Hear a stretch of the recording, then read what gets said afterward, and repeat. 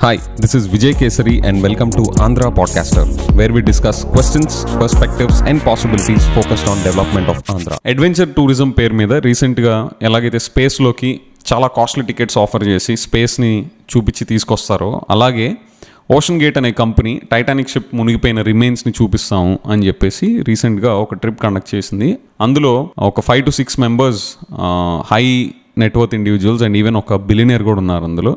ఆ, ట్రిప్లో పార్టిసిపేట్ చేసి అండ్ అన్ఫార్చునేట్లీ మనందరికీ తెలిసినట్టుగానే అది చాలా సాడ్గా ఎండ్ అయింది. అది ఇంప్లోడ్ అవడం వల్ల ఉన్న వాళ్ళందరూ చనిపోయారు. సో వాళ్ళందరూ చనిపోయారు అని డిక్లేర్ చేయకముందు అక్కడ గవర్నమెంట్ ఏజెన్సీస్ ఆ లోపల ఆ సబ్మెరీన్ ఎప్పుడైతే ఓషన్లో స్టక్ అయిపోయి ఎవరికి కనిపించకుండా ఏ రేడార్కి దొరకకుండా అలాగా బ్లాంక్గా ఉన్న టైంలో దాన్ని వెతకడానికి కొన్ని మిలియన్స్ ఆఫ్ డాలర్స్ ఖర్చు పెట్టి సర్చ్ ఆపరేషన్స్ కండక్ట్ చేశారు. ఇక్కడ ఒక చిన్న ఎథికల్ డైలమా స్టార్ట్ అయింది పబ్లిక్లో అదేంటంటే ఇప్పుడు వీళ్ళ దగ్గర చాలా డబ్బులుండి ఒక ఎంజాయ్మెంట్ అండ్ పర్సనల్ ఎక్స్పీరియన్స్ కోసం వాళ్ళు ఒక ప్లెజర్ ట్రిప్ లాగా వెళ్ళిన సందర్భం అది.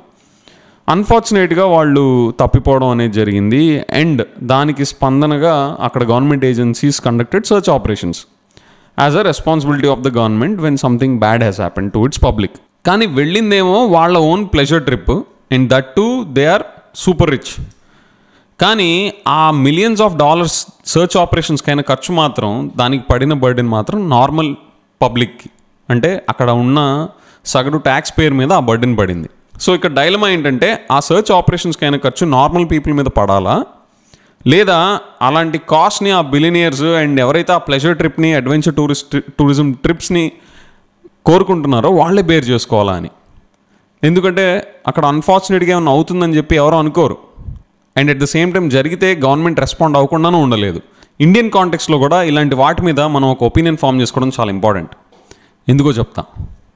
ఒక పక్కన India per capita income Bangladesh కన్నా తక్కువ ఉన్నప్పటికీ అంటే మన per capita income somewhere around two thousand three eighty eight US dollars versus Bangladesh వచ్చేసరికి two six eight eight US dollars so మన తలసరి ఆదాయం బంగ్లాదేశ్ కన్నా తక్కువ ఉన్నప్పటికీ మన ఇండియాలో luxury cars luxury homes luxury వెకేషన్స్కి ఉన్న డిమాండ్ చాలా హెల్దీగా గ్రో అవుతుంది. ఇండియాలో budget two wheelers and budget cars కన్నా కూడా లగ్జరీ కార్స్ ఎస్యూవీస్ సేల్స్ చాలా ఎక్కువగా ఉన్నాయి.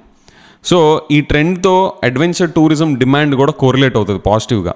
అందుకని మన వాళ్ళలో కూడా అడ్వెంచర్ టూరిజంని చాలామంది చూస్ చేసుకుంటున్నారు ఈ మధ్య due to their high disposable incomes or changing lifestyle preferences so ఇలాంటి టాపిక్స్ మీద మనం కూడా ఒక ఒపీనియన్ ఫామ్ చేసుకోవడం చాలా ఇంపార్టెంట్ అండ్ గాడ్ ఫర్బిడ్ మనకి ఇలాంటి సిచ్యువేషన్స్ రాకూడదని కోరుకుందాం. మనకు కూడా ఇలాంటివి జరిగితే ఆ కాస్ట్ని మనం కామన్ పీపుల్ మీద పడడం పడేయడం కరెక్టేనా if we are responsible to the common publics finances and tax money then we need to think about this aspect so దీనికి ఒక సెట్ ఆఫ్ సొల్యూషన్స్ ఎటు పాయింట్ చేస్తున్నాయంటే అడ్వెంచర్ టూరిజం ఇన్సూరెన్స్ అనేది మ్యాండేటరీ చేయాలి అనేది ఒక పాయింట్ ఒక రకంగా ఇది మంచి సొల్యూషనే ఎందుకంటే this makes the person who is choosing to go to the adventure tourism or the adventure trip to be more responsible and accountable for himself or herself okay ఎప్పుడైతే ఆ ఇన్సూరెన్స్ అమౌంట్ని వాళ్ళు పే చేసి వెళ్తారో that will to an extent cover for probably a potential mishap to the respective agencies to field for them so ఇలాంటి యాక్టివిటీస్కి ఇన్సూరెన్స్ని mandatory చేయడం అనేది important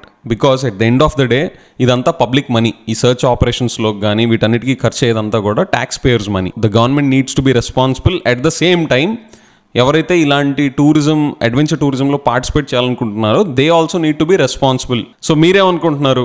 గవర్నమెంటే అక్కడ బెలియనేర్ ఉన్నాడా? లేకపోతే పూర్ పీపుల్ ఉన్నారా? నాకు సంబంధం లేకుండా గవర్నమెంటే కంప్లీట్ ఎక్స్పెన్సెస్ తీసుకోవాలి అని చెప్పి అనుకుంటున్నారా? లేదా ఎవరైతే ఇవి ప్లెజర్ ట్రిప్ కింద లగ్జరీ ఎక్స్పీరియన్సెస్ కింద ట్రీట్ చేసి అడ్వెంచర్ ట్రిప్స్ మీద వెళ్తున్నారో వాళ్ళు రెస్పాన్సిబిలిటీ తీసుకొని they have to sign up for through an insurance అని చెప్పి అనుకుంటున్నారు please share it in the comments let's discuss on that